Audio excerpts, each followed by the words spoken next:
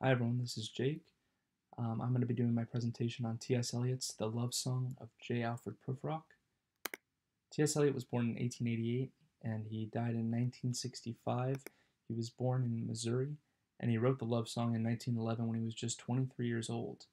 It was published in 1915 um, and this was around the time when he was in constant contact with what would be his first wife, Emily Hale, and he was telling her that he loved her. It would have been interesting, I think, to see how this poem would have turned out if he'd written it when he'd already met Emily uh, and how his views on love would have changed. Um, his 20s overall were a big time of discovery for him. He eventually moved to Britain and he would eventually renounce his American citizenship and become a British citizen. And he would, right before leaving, uh, admit that he loved Emily. But again, this was after he'd actually written the poem. Uh, so without further ado, let's get into the love song of J. Alfred Prufrock. Let us go then, you and I, when the evening is spread out against the sky, like a patient etherized upon a table. Let us go through certain half-deserted streets, the muttering retreats of restless nights in one-night cheap hotels and sawdust restaurants with oyster shells, streets that follow like a tedious argument of insidious intent to lead you to an overwhelming question. Oh, do not ask, what is it? Let us go and make our visit. In the room, the women come and go, talking of Michelangelo. The yellow fog that rubs its back upon the window panes, the yellow smoke that rubs its muzzle on the window panes, licked its tongue into the corners of the evening, lingered upon the pools that stand in drains, let fall upon it back, and soot that falls from chimneys, slipped by the terrace, made a sudden leap, and seeing that it was a soft October night, curled once about the house and fell asleep. And indeed, there will be a time for the yellow smoke that slides along the street, rubbing its back upon the window panes. There will be time, there will be time to prepare a face to meet the faces that you meet. There will be time to murder and create, and time for the works and days of hands that lift and drop question on your plate. Time for you and time for me, and time yet for a hundred indecisions and for a hundred visions and revisions before the taking of toast and tea. In the room the women come and go, talking of Michelangelo. And indeed there will be time to wonder, do I dare and do I dare?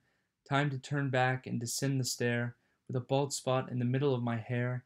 They will say, how his hair is growing thin. My morning coat, my collar mounting firmly to the chin, my necktie rich and modest, but asserted by a single pin. They will say, but how his arms and legs are thin. Do I dare?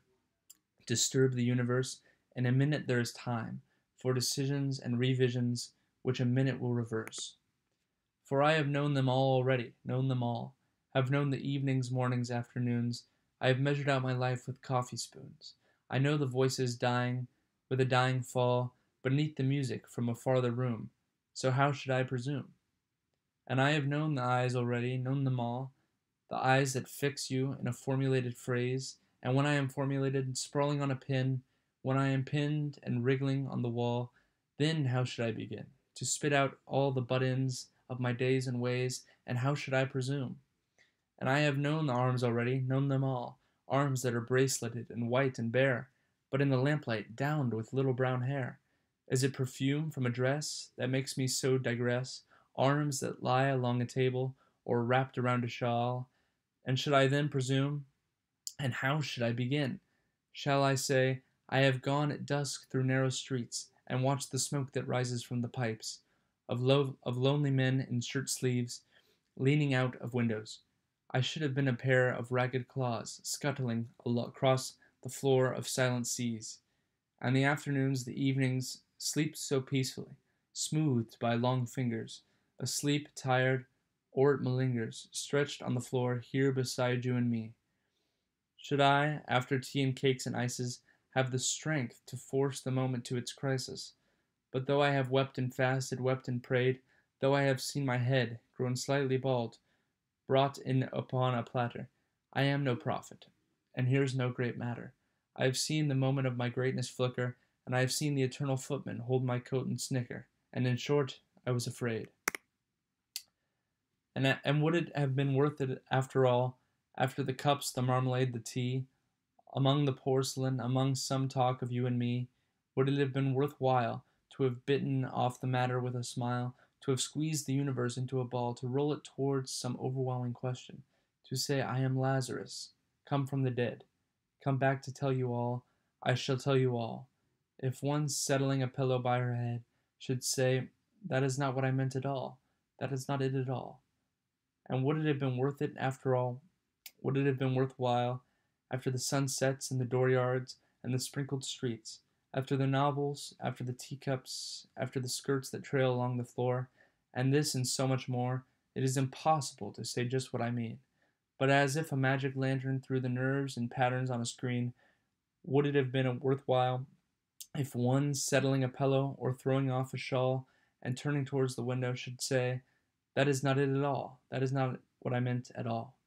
No, I am not Prince Hamlet, nor was meant to be, am an attendant lord one that will do to swell a progress, start a scene or two, advise the prince, no doubt an easy tool, differential, glad to be of use, Polit- politic, cautious, and meticulous, full of high sentence, but a bit obtuse, at times indeed almost ridiculous, almost at times the fool. I grow old, I grow old. Sh- I shall wear the bottoms of my trousers rolled. Shall I part my hair behind? Do I dare to eat a peach? I shall wear white flannel trousers and walk upon the beach. I have heard the mermaids singing each to each. I do not think they will sing to me. I have seen them riding seaward on the waves, combining the white hair of the waves blown back. When the wind blows the water white and black, we have lingered in the chambers of the sea, by sea girls wreathed with seaweed red and brown, till human voices wake us, and we drown. So, what is the poem trying to convey? Um, I think I've narrowed down the five main themes of the poem to loving yourself is very hard, understanding the opposite sex, flaws weigh heavy on the mind, time is limited, and the overarching theme that love is not so simple. Starting with loving yourself is very hard, flaws weigh heavy on the mind. Um, Eliot's character Prufrock in the poem has a hard time accepting himself. He compares himself to Michelangelo, um, and I believe he's actually comparing himself to uh, David, Michelangelo's David the Perfect Man. So uh, they say in the room, the women come and go talking of Michelangelo. I think he means they're talking of a man other than himself, a perfect man. And he compares himself to Hamlet here, um, but not in a vain way. He says, No, I am not Prince Hamlet, nor was I meant to be. Am an attendant lord, one that will do to swell a progress, start a scene or two, advise the prince, no doubt, an easy tool, He's saying he's merely an advisor. He's not the star of the show. He's not the great romancer that Hamlet was, but just an advisor to great men. Uh, and again, this was not. These are not vain comparisons. He's actually saying that he's inferior. Um, he mentions his hair thinning constantly. Uh, that seems to be the main flaw that he focuses on throughout the poem. Um, on every page, he mentions it, uh, whether it be a bald spot or hair thinning and you can tell that this is a, um, a problem that carries on all the way through when he talks about um, shall I part my hair behind? Do I dare to eat a peach? He's, he's questioning everything. Uh, by the end of the poem in his life, he's too nervous to do anything. He's, he's questioning every single decision. Should I eat this peach? Should I part my hair this way or that way? When it really, it doesn't matter. So understanding the opposite sex and the idea that time is limited.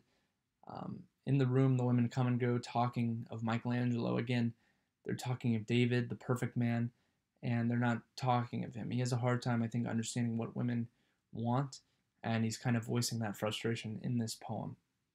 Um, he says he'll have time to meet women in romance, but goes his whole life without doing so. He he constantly says, "Oh, there will be time for this, time for that, time for you and time for me, he says. Um, he's talking always about how there will be time, but then by the end he says, I grow old, I grow old, I shall wear the bottoms of my trousers rolled. And by this point in the poem, he's realizing almost that he's out of time. He's reached the end of his life, and this is kind of what his life has been. Um, he speaks of having known women throughout the poem, especially on page two, uh, but in reality, he has he has no chance with these women. He's talking about how he knows he's known their eyes already, he's known their arms, but then again he's talking about how he he grows bald. He's he he just can't make it. You know, he's overthinking everything. He sees all of his flaws, and he he decides I am not worthy of these women.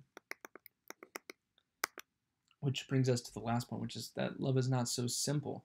This whole poem seems to poke fun at the kind of happy-go-lucky sonnets and whatnot that were written by um, poets of yesteryear. They're almost he's almost poking fun at the simple view of love, how it's just two people meet and they're perfect for each other and they fall in love. He's almost showing the other side of people who maybe can't find someone as easily as readily. Maybe they have uh, flaws that they feel are holding them back, and he's kind of voicing those frustrations. Um, some of the many things in the poem that uh, that point to not finding love so simple. Uh, on one one, it's been said that he's talking about prostitution when he talks of uh, restless nights and one night cheap hotels. People say he's talking about sleeping with women for for money, and of course this is kind of a belittling of the idea of love or making love. And he goes on to talk about female flaws on two, and he's talking about how under the light he sees the brown little hairs. Oh, I'm sorry, that's the wrong page. He's talking about how, but in the lamplight, down with little brown hairs. And this almost is reminiscent of the poem that we read in class, where the author uh, is talking about a man who sneaks into a woman's dressing room and he finds that she's human. You know, she has human problems. Um, and this kind of reminds me of that. But still, he says, Is it perfume from a dress? He recognizes these flaws, but he says, Is it perfume from a dress that makes me so digress? What is this? These emotions that overcome me when I'm in the presence of a woman. And uh, he just has problems, it seems, uh, conveying himself to women. Lastly, he talks about male his male flaws throughout the poem, but especially on three, he's just talking about how should I part my hair this way? Should I eat a peach? And throughout the poem, he's constantly talking about how his hair is thinning, his arms are thin. Um, right here, he says, um, oh, i apologize. Uh, right here, he says how my hair is going thin. He talks about how his arms and legs are thin. And um, when in reality, these are things probably he is the one who notices the most. This is probably things that he is the most um, aware of.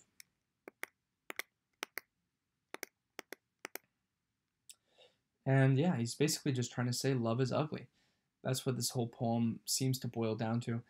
It's talking about how some people have these deep insecurities that make it hard for them, them to find someone, to even have the courage to go approach someone. And it's a bit of a warning, too. He's warning people you will grow old. There is not always time in the future for you to do these things. And um, I think that's what makes uh, this poem